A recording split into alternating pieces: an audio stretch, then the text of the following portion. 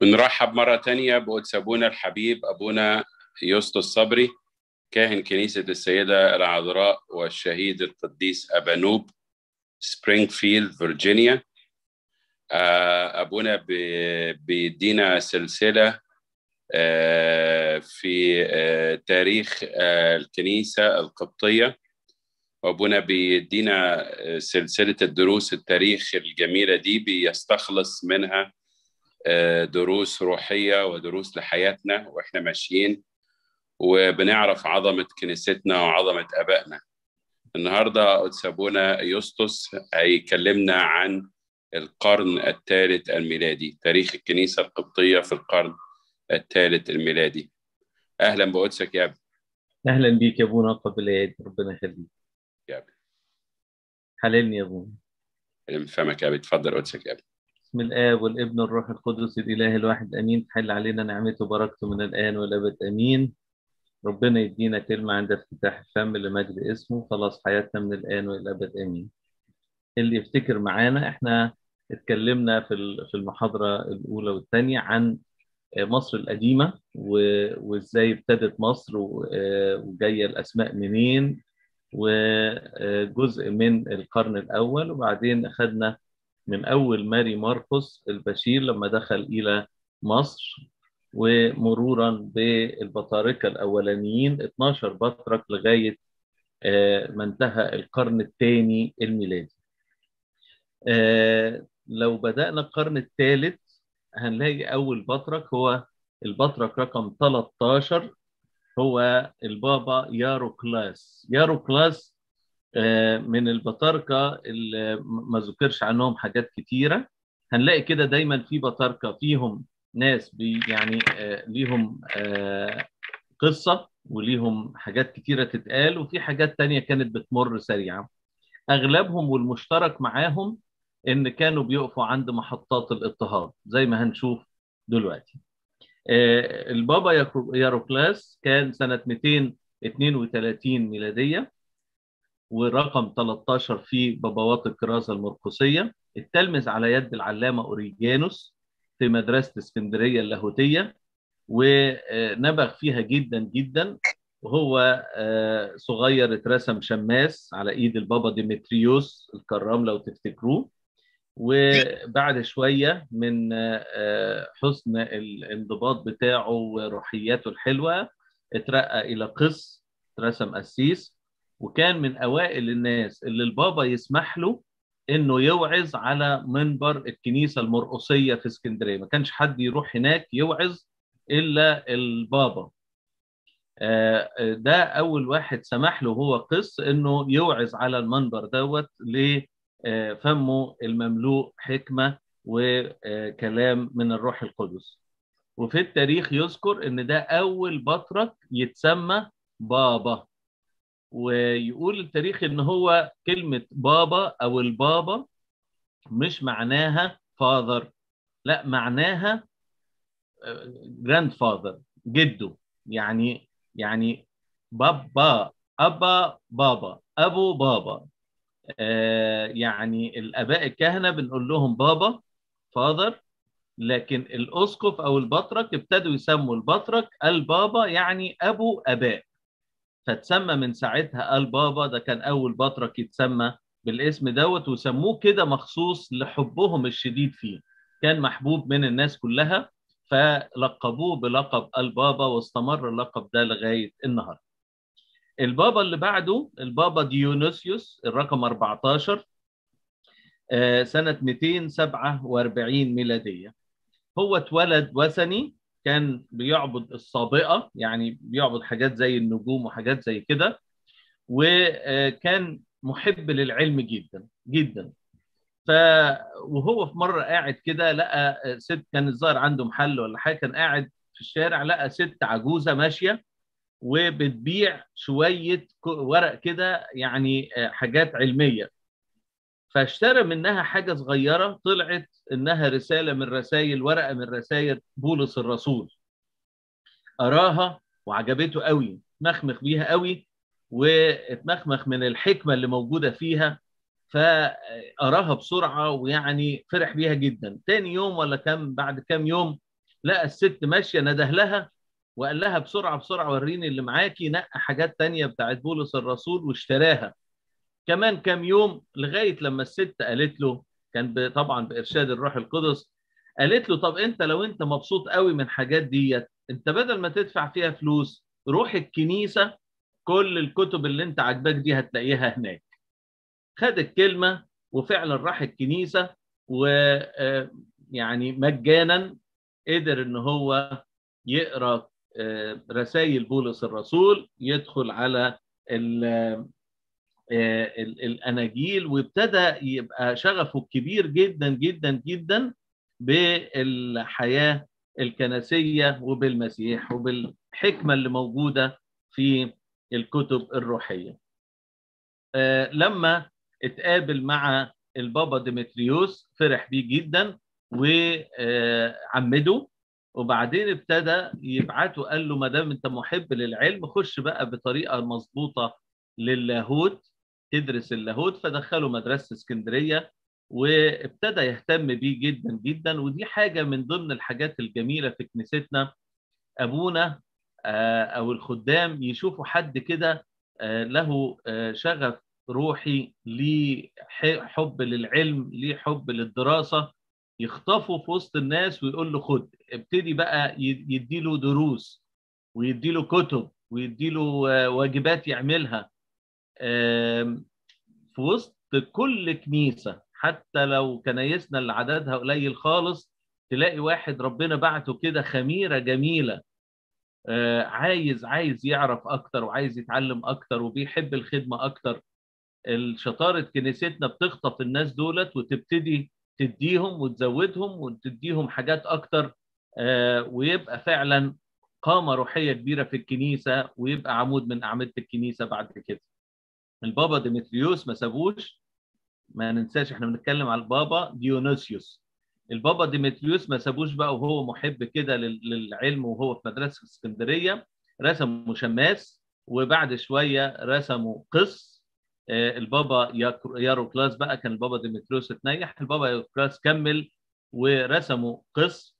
وبعدين خلاه رئيس لمدرسة اسكندرية اللاهوتية. وبعد وفاة البابا ياروكلاس يعني المصريين كلهم كانوا عرفوه واشتهر بعلمه واشتهر بروحياته فرسموه بطرك في ذلك الزمان سنة 247 ميلادية. كان في والي اسمه الوالي ديوسيوس قيصر ابتدى اضطهاد شديد على الكنيسة وهنتكلم عن شوية اضطهادات النهاردة ما تزعلوش محدش يعيط. لكن يعني هنتكلم باختصار شوية عشان نبقى عارفين تاريخ كنيستنا. الوالي ديوسيوس قيصر دوت ابتدى يضطهد الكنيسة والبابا ديونيسيوس تعب جدا جدا في هذه الأيام. ربنا مرضيش يزود الاضطهاد قوي على قدر الإمكانيات بتاعة الناس فقيصر ده مات سنة 251 ميلادية. هدوء شوية جه الوالي غالوس بعده وابتدى يهدي من ثورة الاضطهادات اللي جاية على المسيحيين وابتدى يعني يجي في صفهم سنة ويشيل الضرب والإهانات واللي كان بيحصل. لكن فجأة ظهر وباء في العالم اللي هو الدفتيريا مرض الدفتيريا. فللأسف الوثنيين راحوا لغالوس قيصر وقالوا له أنت عارف المرض ده جه ليه؟ ده عشان انت سايب المسيحيين في العالم يعبدوا مسيحهم والاوثان زعلانة من كده فجابت المرض على العالم. انتشر الوباء بسبب إنك زعل زعلت الأوثان من منك بسبب إنك سايب المسيحية تنتشر. فما كدبش خبر ابتدى خلال سنتين كان بيضطهد اضطهاد شديد جدا للمسيحيين وبأنواع شتى من الآلام والضيقات وأنواع الموت القتل لغاية سنة 253 جه بعديه فاليريان قيصر على روما وقعد برضه فترة سلام صغيرة. الفترة ديت بقى انتهز فيها البابا ديونيسيوس إنه ارتاح شوية ابتدى يلف زيارات لمصر أنحاء مصر كلها. كل ما يروح مكان يبتدي يرسم كهنة ويرسم أسقف وابتدى يعني يشم نفسه في الزيارات الرعوية ويبدأ الخدمة في بلاد مصر كلها من الصعيد لبحر. للأسف برضو فاليريان ما سكتش ابتدى الاضطهاد سنة 257 يعني ما قعدوش حوالي أربع سنين في الهدوء دوت وابتدى اضطهاد تاني على المسيحيين وقبض على البابا ديونيسيوس وجلده وقعد يرغمه إن هو يبخر للأوثان ويعبد الأوثان لكنه رفض البابا بشدة فنفاه لليبيا. قعد ثلاث سنين ونص منفي هناك.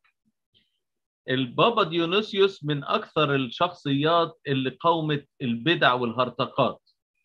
حصل في الفترة بتاعته بدع وهرطقات كتيرة. أقول لكم منها كام حاجة كده بسرعة. في مثلا واحد اسمه سابيليوس. سابيليوس دوت كان أسقف في في في الخمس مدن الغربية واتربى في روما وتتلمذ تحت إيدين واحد اسمه نوئيتوس. ده هرطوقي اخذ منه تعاليم غلط اللي هي إيه؟ الراجل ده كان بيقول إن الله أقنوم واحد. أقنوم واحد مش ثلاث أقانيم آب وإبن وروح قدس لا هو واحد بس واحد وحيد ما عندوش آخر ما عندوش أي أقانيم أخرى. فالأقنوم الواحد دوت ظهر بثلاث شخصيات. ظهر في العهد القديم كالله الآب اللي أعطى الناموس لموسى واليهود وادى الشرائع والقوانين واتجسد في العهد الجديد بصورة الابن والاب اختفى خلاص ما بقاش موجود. بقى في واحد تاني اسمه الابن ودوت اللي آه يعني آه آه كمل المشوار بدل الاب. وبعد ما صعد ظهر واحد ثالث جديد واختفى الابن خلاص اللي هو الروح القدس وحل على التلاميذ. سابيليوس بقى أضاف على المصيبة ديت كمان مصايب. قال إن الابن لما تجسد هو جزء انفصل عن الآب والآب ده راح يعني اتخذ منه والروح القدس جزء انفصل من الابن واتخذ منه. كل الكلام دوت البابا ديونيسيوس بقى قاومه بشدة. أنتوا عارفين طبعا إن الله ما ينفعش يكون واحد وحيد لأن الله له صفات فالصفات دي ما تبقاش مفعلة غير لما يكون في آخر. فالتثليث في اللاهوت في الله الله آب وإبن والروح القدس نقول الله مثلا محبة. طب الله محبة قبل خلقة العالم وقبل خلقة الإنسان الله كان بيحب مين؟ الله كريم بيتكلم ربنا كان بيتكلم مع مين قبل خلقة الإنسان؟ وهكذا. كل صفات الله صفات موجودة منذ الأزل ومفعلة معمول يعني بيشتغل بيها. فإزاي الله يكون واحد وحيد ما يعرفش إن هو يتعامل مع آخر قبل خلقة الإنسان؟ لذلك التثليث مهم جدا جدا إنه ثلاث أقانيم. ده حاجة مهمة جدا في اللاهوت ومهمة جدا في عبادتنا بالله. واحد تاني عمل مجمع بقى البابا ديونيسيوس وحرم سابيليوس وكل اللي يتبع البدعة دي في مجمع عمله سنة 261 ميلادية. واحد تاني اسمه نيبوس. ده صاحب بدعة اسمها بدعة الألف سنة. لو تفتكروا في سفر الرؤيا مكتوب كده إن ربنا هيجي يملك ألف سنة. سفر الرؤيا كله رموز وكلها حاجات عبارة عن رموز مش حقيقة. يعني لما يقول رقم سبعة ده رمز. لما يقول رقم ألف ده رمز لما يقول ذهب ده رمز لما وهكذا. كل السفر عبارة عن تشبيهات. جه الراجل دوت بقى كان أسقف الفيوم كان أسقف إبراشية أرسينو في الفيوم. بدأ يعلم الناس يقول لهم مكتوب أهو إن المسيح هيجي يملك ألف سنة على الأرض. عارفين هيملك إزاي؟ يقول العالم كله هيبقى مسيحيين ويجي هذا الملك العظيم يدي كل الحاجات الحلوة للشعب دوت بتاعه لمدة ألف سنة. يقعدوا في نغنغة العالم والفلوس والشهوات ولا في أي حاجة يقعد كده في العالم الملك دوت جنب الناس بتوعه ألف سنة. طبعا يعني هو كان كان برضو المشكلة إن اللي بيبقوا في المناصب ديت الشعب بيحبهم جدا. فالشعب من كتر محبته ليه؟ للأسف سمعوا كلامه آمنوا بالكلام بتاعه ومشي وراه. الفكر دوت قومه أوريجانوس وأكد إن كل سفر الرؤيا عبارة عن أمور مجازية وبتبين فرح السماء مش الأرض. ربنا حتى في سفر الرؤيا قال هناك سماء جديدة وأرض جديدة هو ده اللي هيبقى فيها الفرح الأبدي. مش على العالم خالص. البابا ديونيسيوس برضو قاوم الفكر دوت تماما وسنة 255 ابتدى يتكلم مع نيبوس في مجمع لمدة ثلاث أيام ونيبوس رجع عن رأيه الغلط وآمن بالكلام الصح وقدر إن هو يفهم سفر الرؤيا بطريقة مظبوطة. بدعة كمان طلعت في هذا الوقت في القرن الثاني والثالث اسمها واحد اسمه بولس السماسوطي بولس دوت اتولد من أبوين فقيرين جدا لكن من كتر الفقر هو قرر إنه مش هيعيش في الفقر. فابتدى يغتني غنى من أمور غلط بوسائل محرمة. ولما بقى ذو سلطة كبيرة قوي وفلوس كتيرة قوي قوي ابتدى بالفلوس ديت يخش الكنيسة وللأسف قدر إن هو بالمال يبقى أسقف على كرسي أنطاكيا أو بطرك على كرسي أنطاكيا. للأسف فضل بالأمور العالمية يعني فضل إن هو لما يجي ماشي في أي حتة يجيب كان جايب 200 خدام يمشوا قدامه و200 خدام يمشوا وراه. وستتين قاعدين جنبيه واحدة على اليمين واحدة على الشمال طول الوقت. ماشي قاعد بتاع الستتين دولت معاه على طول. وبدأ كمان بدل ما هو ماشي يقولوا ألحان زي ما أنتم عارفين مثلا النهارده وإحنا البابا داخل مثلا أو أسقف داخل بنقول لحن بقوره بنقول لحن كزم رؤود ألحان لدخول البطرك. أو أب الأسقف مثلا هو ألف ألحان وتراتيل تمجده هو شخصيا. واداها للناس حفظوها بقى وهو ماشي الناس تقول له هو تراتيل وأنشاد لمجده وللأسف خلى كل الناس تسقف له. كل ما يقول خطبة مجرد كلمتين ويسكت عشان الناس تسقف. وفضل بهذا الحال شوية لغاية لما في كمان الملكة اسمها ملكة زينب دي ولا حاجة ملكة تضمر قالت له اجمع لنا الجباية كمان من كل المنطقة بتاعتك. كانت وظيفة بمرتب فزاد الغنى على الغنى واهتم بالوظيفة العالمية دي أكتر من الخدمة الدينية. وقع فهرتقى الراجل ده بقى قال إيه؟ قال إن ابن الله لم يكن موجودا منذ الأزل. الله موجود لكن الابن اللي جه تجسد من العذراء ده ما كانش موجود هو كان الله بس. وبعدين اتولد إنسان عادي من العذراء مريم بشر بس وبعد ما اتولد حل عليه حكمة الله وروح الله فأصبح إله. يعني يعني الحكمة اللي جت في هذا البشر الطفل الصغير حولته من إنسان لإله. فما بقاش زي عقيدتنا اللي إحنا مؤمنين بيها إن الله تجسد. الله ظهر في الجسد زي ما الكتاب واضح في آياته جدا. الله عظيم هو زر سر التقوى. الله ظهر في الجسد. ربنا هو اللي تجسد. لا هو قال العكس. قال إنسان تأله إنسان بقى الله وبدأ يفدي البشرية. كلام طبعا مش مظبوط. البابا ديونيسيوس عمل مجمع تاني وشرح فيه شرح كافي آه للعقيدة التجسد وإن اللي, من أول لحظة لما الكتاب بيقول أن الملاك كان بيبشر العذراء ما يقول لها ان الروح القدس يحل عليك وقوة العلي تظللك فلذلك المولود منك يدعى ابن الله.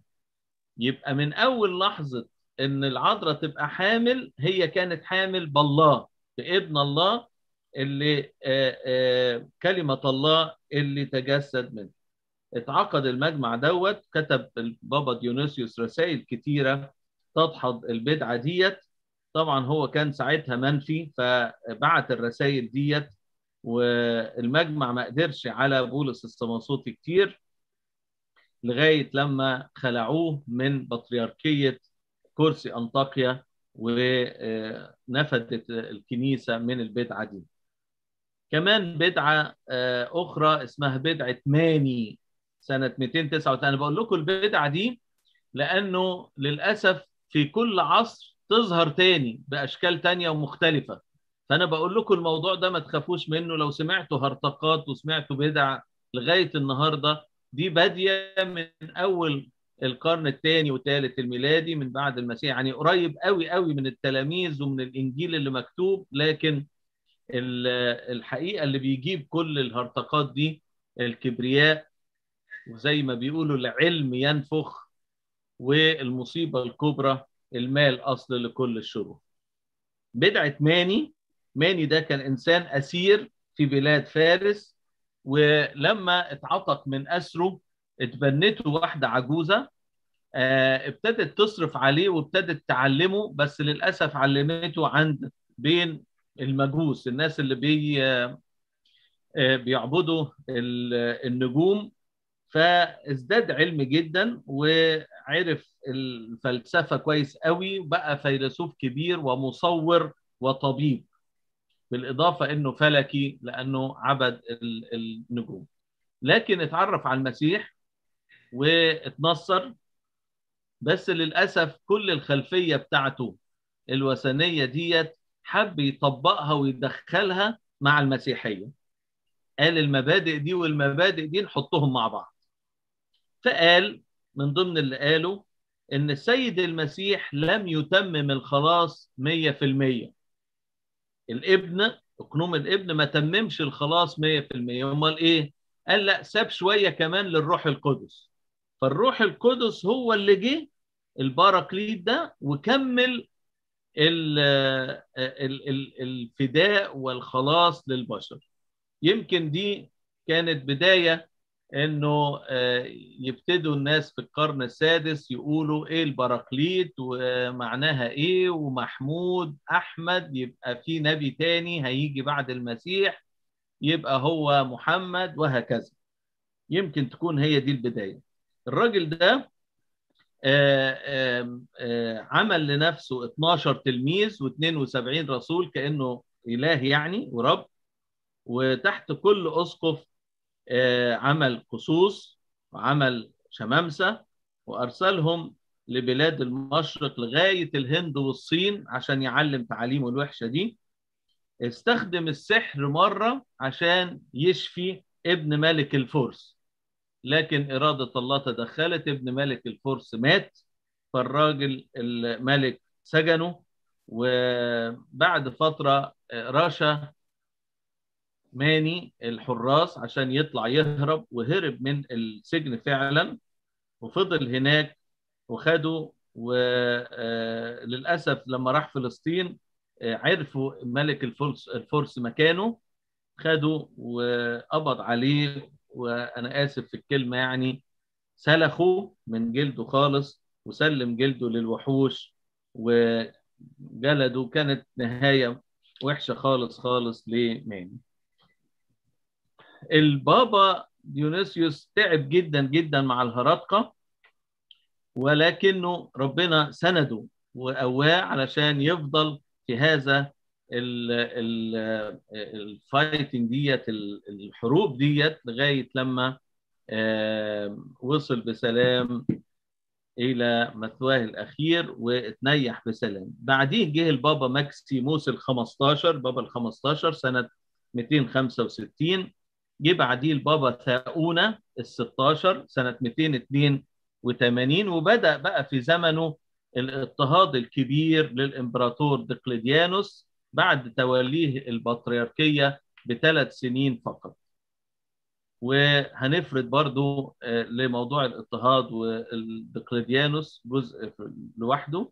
وتنيح البابا ثاؤونة سنة 300 ميلادية بعد ما كان أوصى إنه يكون البطرك اللي بعده هو بطرس. آه وده كان بطرس ده كان آه ابن لأب وأم كانوا عواقر. والأم قعدت في عيد القديس بطرس وبولس. تعيط كتير جدا جدا لربنا. شافت ناس كتيرة داخلين يعمدوا ولادهم وهي ما عندهاش ابن فصلت وعيطت وقالت بص بقى يا رب أنا زي النهارده عيد بطرس وبولس أنا عايزة من إيدك طفل. فشافت رؤية إن ربنا بيديها نسل وراحت للبابا ساؤونه شرحت له وحكت له الحلم وحكت له الحكاية وقال لها ده ربنا هيديكي وهيديكي حد يبقى ليه نعمة وبركة. فعلا ولدت ولد وسميته بطرس ولما كبر دخلوا البابا ساؤونة إلى مدرسة الإسكندرية. وأوصى قبل نياحته إنه يكون هو البطرك اللي بعديه. أبونا الوقت لسه؟ أم عودتك يا ابني بعد يعني الفترة دي بقى في القرن دوت كان في اضطهاد شديد جدا على المسيحيين. الاضطهادات كانت هت يعني هتستغربوا إنها كانت مختلفة في الدوافع بتاعتها. يعني القرن الثاني والثالث كانوا اللي بيضطهدوا ثلاث فئات. الوثنيين بيضطهدوا شوية اليهود يضطهدوا المسيحيين شوية الرومان يضطهدوا المسيحيين شوية. اليهود العجب إن هم كانوا بيضطهدوا المسيحيين مش بس بعد المسيح ما جه من قبل كده. أنتوا سامعين لما المسيح كان بيتكلم يقول إنه آآ آآ إن اليهود دولت أبناء قتلة الأنبياء. هم كانوا كل اليهود عايزين السلطة بتاعتهم عايزين يبقوا زي الشعوب لهم ملك خاص عايزين عايزين. فكانوا لما حد يجي يكلمهم عن الوصايا ارجعوا تاني لربنا أنتوا كده غلطتوا ربنا زعلان منكم فيرفضوا الكلام ده كله. فهم ده طبعهم. فلذلك اليهود اضطهدوا كل من يتبع الله حتى يعني كأنبياء في العهد القديم. وجم بقى بعد المسيحية زاد عليهم إن المسيحية كانت بتقول إن الرومان مع اليهود قتلوا المسيح هم اللي صلبوا المسيح. ف يعني كانت مضايقة كبيرة قوي ليهم. ابتدوا يضطهدوا ويقوموا الوثنيين والرومان على المسيحيين. الاضطهاد كان بثلاث أساليب. نمرة واحد سبيل انتقامي. كان يجوا كده إن كان الوثنيين أو اليهود أو الرومان ينتقموا بالتعذيب وبالقتل وبألوان التعذيب. كانوا ينبسطوا إن هم بيعذبوا المسيحيين بطرق مختلفة ويخترعوها. أو بسبيل الوشاية. لما لما اليهود ضعفوا شوية وما كانش ليهم سلطة على المسيحيين ولا إنهم يقبضوا عليهم ولا إنهم يسوقوهم للقتل كانوا بيوش بيوشوا بيهم عند الرومان أو عند الوثنيين اللي إيديهم قوية شوية. فكانوا يروحوا يقولوا للوثنيين المسيحيين زي اللي حصل كده في في الدفتريا ده المسيحيين بسببهم الأوثان زعلانة منكم. الآلهة زعلانة منكم. وبعد كده ثالث أسلوب كان أسلوب الخداع بالفكر بقى مش عارفين إن هم يقتلوهم فكانوا بيخدعوا المسيحيين عن طريق المقاومة الفكرية. أول ناس اتقبض عليهم في سفر أعمال الرسل لما سمعنا عن الرومان وبسبب وشاية اليهود قبضوا على كثير من المسيحيين. الكهنة والصدوقيين مثلا قبضوا على بطرس ويوحنا وحبسوهم في أعمال ثلاثة وأربعة. ورؤساء الكهنة كانوا بيبعتوا زي ما بعتوا شاول إنه يقبض على المسيحيين ويموتهم كانوا بيبعتوا على طول ناس تانية. من أكثر الناس اللي اضطهدوا المسيحيين في الفترة الأولى كان شاول الطرسوسي قبل ما ربنا يدعيه للمسيحية. أول الشهداء في القرن الأول كان إستفانوس رئيس الشمامسة تقريبا سنة 36 ميلادية. بعديه يعقوب الكبير ابن زبدي 44 ميلادية قتله هيرودس بالسيف. يعقوب الصغير أخو الرب اترجم سنة 63 سمعان أسقف أورشليم سنة 107 ميلادية. وبعديها بدأ اضطهاد الرومان اللي حصل في بداية من أورشليم على مدار عشر أباطرة قعدوا يضطهدوا في المسيحيين. الدافع إيه؟ للاضطهاد إنهم مسيحيين بس ما عندهمش حاجة تانية. كان الوثني الوثنية عبادة بتدخل في كل حياة الإنسان. يعني كل حاجة الوثنيين بيعملوها عبارة عن عبادة. فكانوا عند الولادة زي ما إحنا بنعمل يعني. لكن هم كانوا بيقدموا للأوثان بقى. فكان عند الولادة الزواج الموت آه لازم يعملوا حساب قوي قوي للآلهة. آه يدوا ذبائح يقدموا بخور يسجدوا. فكانت الاحتفالات في الشوارع وفي كل مكان للأوثان والتماثيل موجودة في كل مكان جوه البيت وبره البيت. فالوثنيين كانوا دايما يزقوا الرومان على اضطهاد المسيحيين. ودوت سر اضطهاد الدولة الرومانية في بداية مطلع المسيحية. ما كانتش مشكلة إن المسيحيين مش عارفين مش عايزين يقدموا قرابين بس للأوثان أو مش عايزين يسجدوا للأوثان مش عايزين يعبدوها. لكن الأكثر إن كانوا بيفتكروا الرومان إن كل مصيبة هتحصل بسبب إن في مسيحيين موجودين في العالم. فكان الاضطهاد بشدة عايزين الغرض إفناء المسيحيين من العالم. أي كارثة أي حاجة تحصل في العالم يقولوا ده بسبب المسيحيين. العشر أباطرة بداية من نيرون دوميتيان تراجان مرقس اوريليوس سبتيموس ساويروس ماكسيمنوس ديسيوس فاليريان اوريليان دقلديانوس أول واحد نيرون دوت ابتدى الاضطهاد من سنة 64 ميلادية. ده كل الاضطهادات الرومانية يعني هجيبها لكم من القرن الأول. وكان مجنون. نيرون يمكن اكثركم يعرفوه. مجنون. كان بيقول إن الحياة كلها رواية هزلية. وهو البطل الأول بتاعها. فكان بي بيعمل بقى showing إن هو البطل بتاع العالم فكان بيظهر بكل المظاهر اللي عايزة تظهره على إنه نمرة واحد. عارفين number 1 اللي بي بيقول دلوقتي number 1 هو كان نيرون بقى أنا number 1 فلدرجه من جنونه ومن عظمته في عينين نفسه قتل أخوه وقتل أمه وقتل مراته وقتل استاذه وكل شخصية عامة في روما تظهر كده ويبقى حد محترم وكويس والناس هتعرفه يقتله. آه التاريخ بيقول إن حريق روما كله كان بسبب نيرون لأنه كان عايز بدل ما هي اسمها روما كان عايز يسميها باسمه. هو اسمه نيرون فقال عايز أسمي نيرو بوليس عايز أعمل المدينة دي بقى أبنيها من جديد وابقى اسمي أنا عليها. أعملها إزاي؟ قال أحرق المدينة كلها وأخلص عليها أجيبها على الأرض وأبني مدينة جديدة. كانوا تقريبا هم حوالي 14 جزء في روما 10 منهم اتحرقوا. اتحرقوا تماما. طيب الناس ابتدت تتساءل مين اللي حرق روما؟ راح بكل بساطة وقال دول المسيحيين. قال أنا أعمل حاجة من حاجة واحدة تخلصني من الاثنين أقول إن المسيحيين هم اللي حرقوا روما فالناس تقوم على المسيحيين تقتلهم. أخلص أنا من المسيحيين أبتدي أبني المدينة بتاعتي.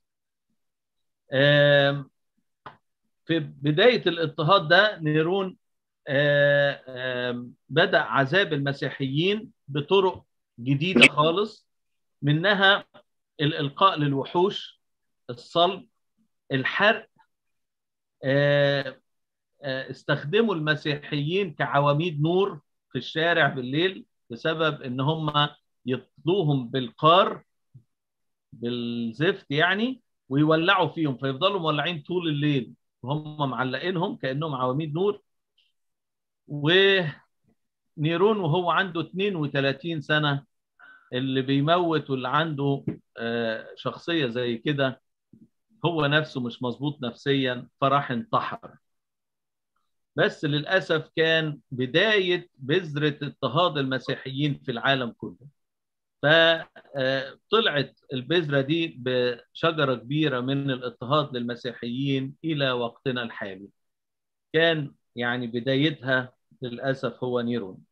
في سلسلة العشر قياصرة دولت واحد مثلا رقم خمسة اللي هو سبتيموس ساويروس. ده أصدر منشور سنة 202 ميلادية يقضي بمنع المسيحيين من تبشير غيرهم. ممنوع حد يقول لحد تعالى للمسيح.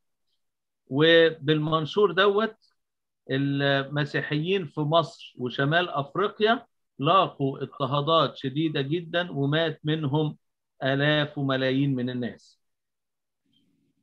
من ضمنهم كان والد العلامة أوريجانوس لو تفتكروا بوتامينا. وباسيليوس الجندي اللي قلناهم المرة اللي فاتت. في الوقت دوت برضو كان في بيعلموا أولادهم جدا جدا الطهارة. فمن ضمنهم مثلا في الوقت دوت واحدة اسمها الشهيدة بربتوا لو تعرفوها هي وبوتامينا.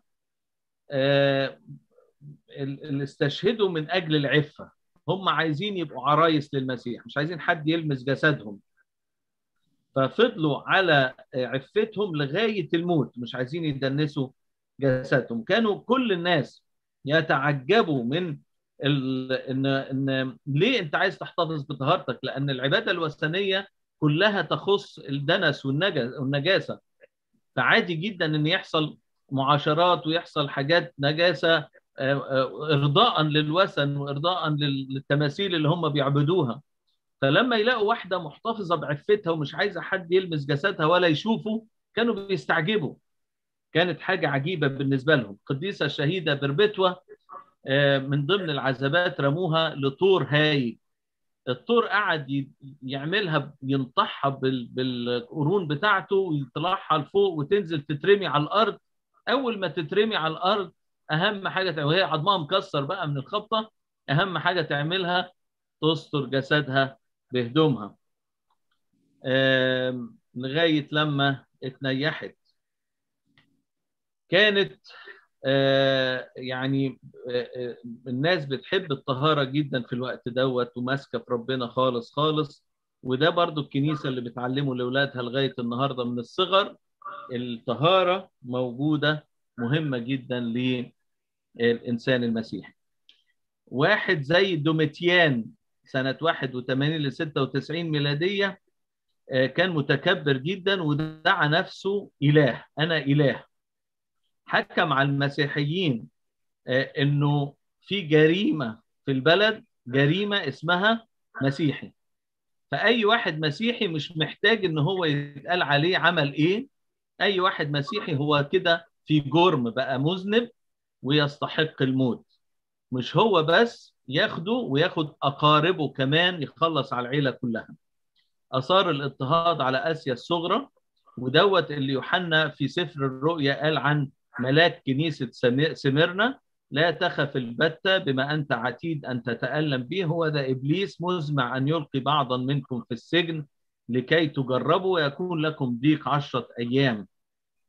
وملاك كنيسة برغاموس نفس الحكاية. دوميتيان هو اللي ألقى يوحنا الحبيب في زيت مغلي ونفاه بعد كده في جزيرة بطمس.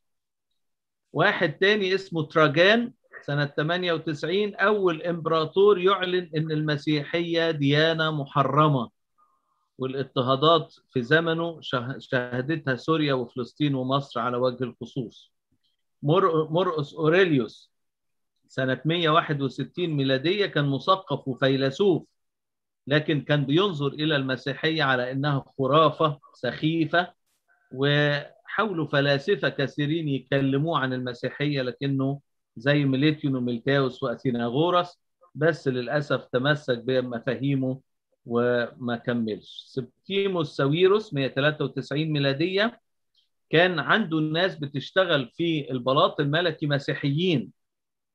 وكان مبسوط منهم لكن برضه بإثارة الفتنة وبإثارة الكلام على المسيحيين والوشاية سنة 202 أصدر منشور بمنع التبشير بالمسيحيين وأي ضم للمتنصرين جداد يموتوا. ومن ضمنهم كان والد أوريجانوس وبوتامينا وباسيليوس وبربتوا في الوقت ده. ماكسيميوس التراقي اضطهد المسيحيين من أول ما طلع على العرش سنة 235 ميلادية. ونسأله ليه يقول بس؟ عشان اللي قبلي ما كانش بيضطهد المسيحيين. فأنا عايز أعمل حاجة جديدة ما كانش بيضطهد المسيحيين قوي يعني. وفضل يضطهد المسيحيين وكان اللي قبله اسكندر ساويروس كان متسامح شوية مع المسيحيين فهو قال أعمل العكس.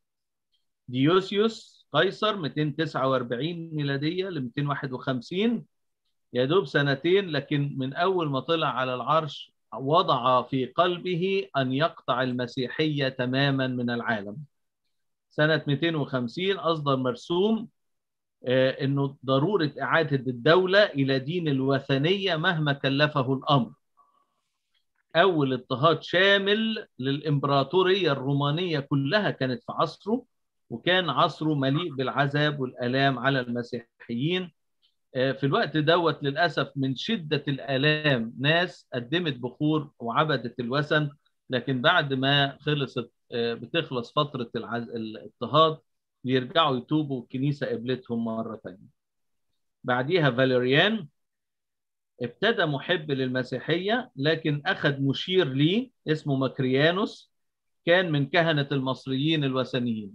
دخل بدحلبة وبقى الإيد اليمين بتاعته ومشير ليه لما تملك ابتدى يقنعه إن كل الذبائح اللي أنت بتقدمها يا قيصر للوثن غير مقبولة.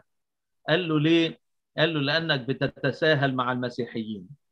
فقال لا أنا عايز التقدمات بتاعتي تقبل. فبدأ يضطهد المسيحيين اضطهادات شديدة خالص. آه وصل لكل بيت حتى الأطفال الصغيرين كان بياخدهم ويموتهم. آه قعد ثلاث سنين ونص للأسف يعني يعني يموت ويقتل ويشهر ب السيدات وحاجات وحشة خالص للمسيحيين. بعديها أوريليان كمل الاضطهادات وأصدر مرسوم جديد بقتل المسيحيين وتكسير أي مذابح موجودة للمسيحيين وكان ساعتها بقى من أنواع العذاب تشويه الجسم بقطع أجزاء منه قطعة قطعة يعني زي القديس يعقوب المقطع إيدين لوحدها رجلين ودن أنف فقع العين تجويفها بحديد محمى بالنار كي الأعصاب الشنق الإلقاء في البحر دفن الإنسان حي.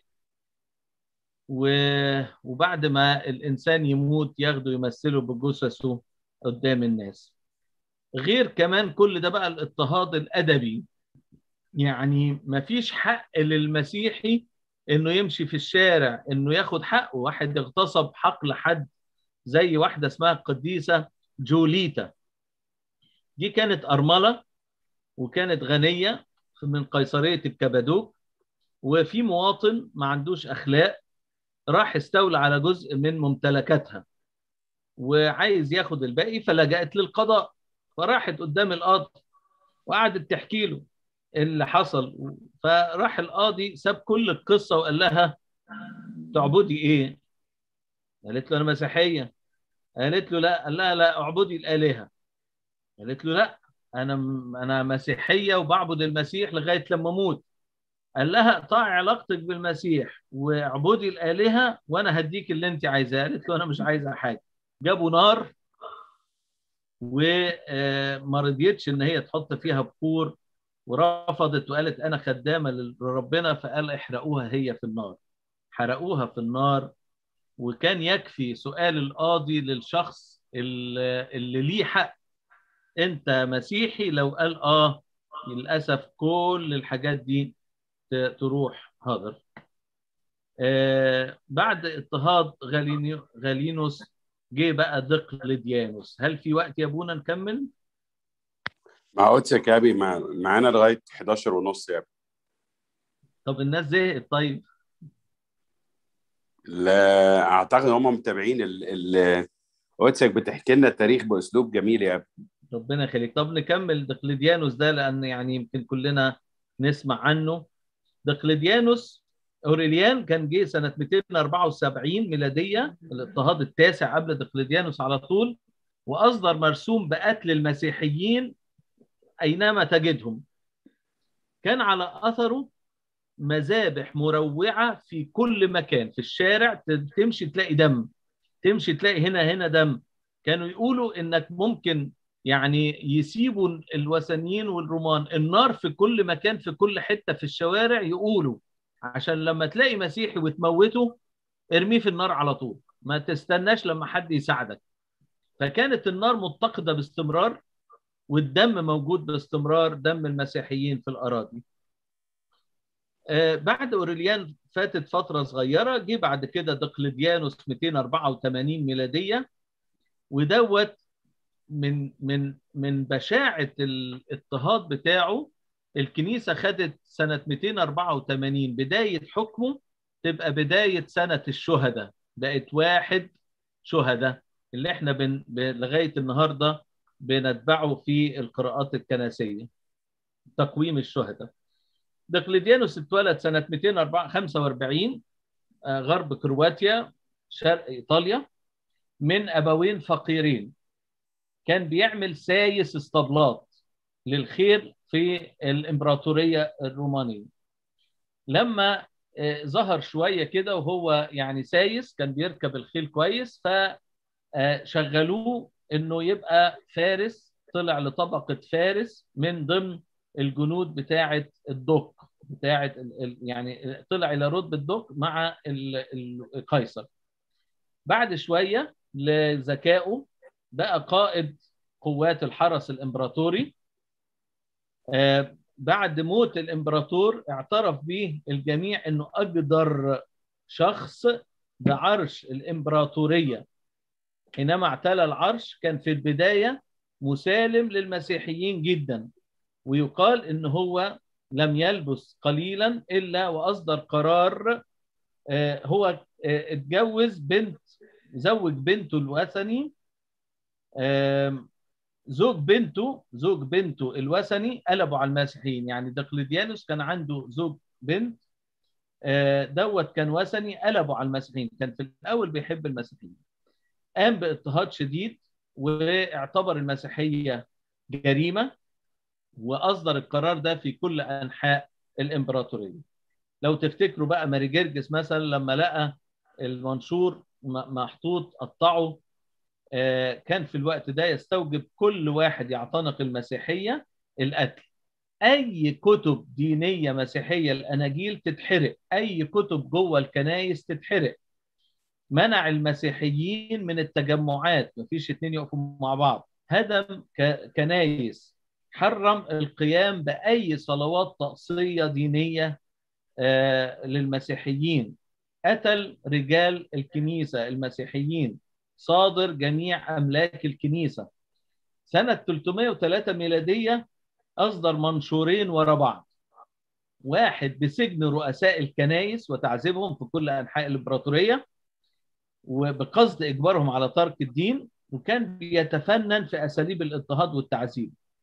كان بيخترع آلات يعني هو اللي اخترع الهمبازين مثلا. هو اللي بيخترع حاجات عشان خاطر يعذب المسيحيين ويتلذذ بشكل الدم اللي فيها. يقال إن دقلديانوس سفك دماء حوالي 800 ألف إلى مليون شهيد مسيحي في عصره. منهم لوحدهم كده 6600 واحد اسمهم الكتيبة الطيبية. في عصره كان الوالي إريانوس والي أنصنة كان برضو دم نفس المشاعر بتاعته ناحية المسيحيين فكان دموي جدا وعذب عدد كبير من المسيحيين في الصعيد زي الشهيدة دولاجي وأبنائها قديس أبو قلطة الأنبا بضابة. أريوس آمن بالمسيح إريانوس آمن بالمسيح في نهاية حياته استشهد. لو تفتكروا قصة الشهيد أبانوب معاه برضو. العلامة ترتليان ده مؤرخ يقول عن عدد الشهداء لو أن شهداء العالم كله وضعوا في كفة ميزان وشهداء مصر في الكفة الأخرى لرجحت كفة المصريين. يعني الإضطهاد بقول لكم على بلاد روما كلها بلاد الإمبراطورية الرومانية كلها. لكن مصر لوحدها الناس اللي فيها ماتوا الشهداء يساووا أكثر من بقية العالم كله. دقلديانوس في نهاية حياته أصيب بالعمى ولما اتعمى اللي كانوا بيخدموه ويمسكوه يجروه يمشوه عشان ياكل ويشرب ويمشي كانوا هم المسيحيين. لغاية لما شاف الحاجات ديت أصيب بالجنون في آخر أيامه اتنفى في جزيرة والجزيرة دي كان فيها مسيحيين هم اللي خبوه من الاضطهاد بعد كده عشان الناس ما يقوموش عليه. وكانت جزيرة هو اللي نفى فيها المسيحيين عشان يأذيهم. راح لهم وقعد معاهم وقاموا بالإحسان إليه وخدموه وهو مجنون وأعمى. في الاضطهاد دوت اتقالت الجملة الجميلة من العلامة ترتليان يقول دماء الشهداء بزار الكنيسة. كل ما دم شهيد ينزل على الأرض يطلع لنا عشرة مسيحيين وأكثر. كان كل ما واحد يقف قصاد الناس يقول لا أنا هفضل مسيحي ويموتوه. كام واحد وثني يقولوا إحنا عايزين نعبد الإله بتاع الشخص ده. فكانت المسيحية برغم الاضطهاد والناس اللي بتموت كانت بتزداد وعدد المؤمنين كان بيزداد. أي حد كان بيمتنع عن عمل للأوثان ظاهريا قدام الناس كان يعذب ويموت. كل استشهاد كان قدام الناس بشكل مؤذي جدا للمشاعر. كان المسيحيين في الوقت ده ابتدوا يستبعدوا من الوظائف والمناصب العامة. ابتدوا بقى خلاص كل واحد مش عايزين مسيحيين في الأماكن المهمة. وبالرغم من كده ظل المسيحيين أوفياء للإمبراطورية الرومانية. ومحبين لكل المضطهدين وكانوا بيصلوا صلوات كبيرة خالص من أجل الناس دول يبقوا مسيحيين. كانوا المسيحيين بيمشوا بوصية لا تقاوموا الشر بالشر بل قاوموا الشر بالخير. فكانوا بيقبلوا الإهانة والعذاب والنفي والضيق والموت برضا. يعني مش مغصوبين مش ملياش حل تاني بقى خلاص أنا هعمل إيه؟ لا كانوا هم بيسعوا إلى إنهم يرضوا ربنا ويفضلوا رافعين رأسهم بدون خنوع. يرفعوا رأسهم قدام السياف كده ويجي السياف يقتل وهم حاسين إن هم يعني بشرف. إحنا بنموت من أجل اسم المسيح.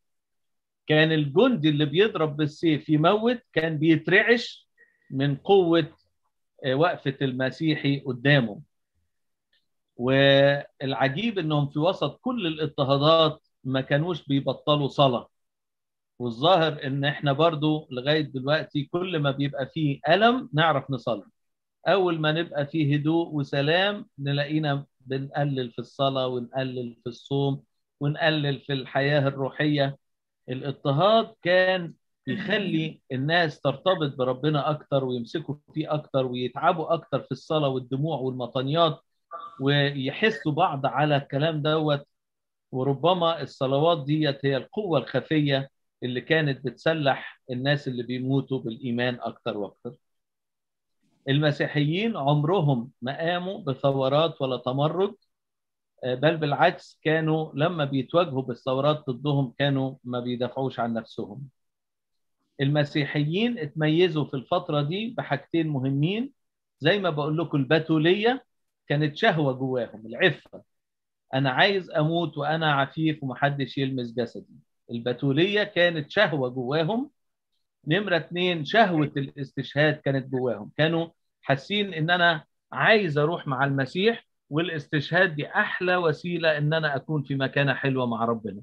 فكانت شهوة جواهم وكثيرين كانوا بيروحوا الأماكن الاستشهاد مخصوص علشان يموتوا من أجل المسيح. الاستشهاد والبتولية الاثنين بيودوا لبعض. أنا كبتول وعفيف وعروس للمسيح عايز أستشهد وأنا عايز أستشهد أقول أظل عفيف وطاهر عشان أقدم نفسي عروس للمسيح. كانوا فرحانين جدا جدا الشهداء وهم في طريق الشهادة وكانوا بيلبسوا كأنهم رايحين فرح. يلبسوا أبيض فابيض الستات تلبس أبيض كأنها عروسة وحتى الكهنة والاساقفه كانوا يلبسوا لبس الكهنوت على إنه رايح عرس أنا رايح أموت وأقابل المسيح. كتير من الأمهات مش بس الأم دولاجي و والقديسه الشهيدة رفقة لكن كثير من الأمهات كانوا بيريدوا قبل الاستشهاد إنهم يطمنوا على أولادهم. ابني وبنتي راحوا السماء ولا لأ؟ استشهدوا ولا موتوهم قبلي. تشوفهم بيموتوا عشان هم يبقوا ميتين مرتاحين ومش عارفين مش حاسين إن اولادهم ممكن يسيبوا المسيح. من الشهداء دولت واحدة اسمها ثيودورا العفيفة العذراء. دي استشهدت في الإسكندرية في زمن دقليديانوس كان عندها 17 سنة كانت أسرة نبيلة وجميلة جدا. أمرها الوالي بالتبخير للأوثان وإلا العقوبة إنها هتتحط في بيت من بيوت الدعارة. رفضت وقالت أنا واثقة في ربنا إنه هينقذني مش هبخر للأوثان. راح واخدها ورماها في بيت للدعارة وسمع بيها شخص اسمه ديديموس آه اتنكر في زي جندي وراح دخل بيت الدعارة على إنه هيعمل معاها الخطية. عرفها بنفسه قال لها ما تخافيش أنا جاي عشان أهربك. وبدل ملابسه الجندية بملابسها وخرجت سيودورا من بيت الدعارة على إنها جندي اللي دخل محدش عرف. وخرجت. بعد شوية دخلوا على سيودورا لقوا الجندي ده ديديموس ده قاعد بدلها. مسكوه ودوه للوالي واتأمر الوالي إن هو يتعدم في ساحة الإعدام. راح في ساحه ساحة الإعدام ومسكوه وهوب هيقتلوه. راحت جريت سيودورا شافت المنظر جريت عليه وقالت له كيف تسرق اكليلي ده أنا المفروض كنت آخد الإكليل ده. قال لها بعد ما هربتك امشي قالت له ابدا ده إكليلي والاثنين اخذوا إكليل الشهادة في الفترة دي الوقت ده. العذابات زي ما قلت لكم يعني حرق صلب إلقاء للوحوش قطع الرأس بالسيف الاستبعاد في مناجم وضع سلاسل وأيادي والرجلين ما حدش يتحرك النفي إلى جزيرة مليئة بالوحوش أساليب جلد مختلفة حبس في سجون سلسلة يدين مع الرجلين في منظر إنه قاعد مقرفص كده ويربطوا الرجلين في الإيدين حبس في السجون شهور وسنين أحذية فيها مسامير يجبروهم على المشي بيها الجلد بالسياط والعصي والأنشاط المدببة تعليق النساء في أماكن عالية عاريات للفرجة.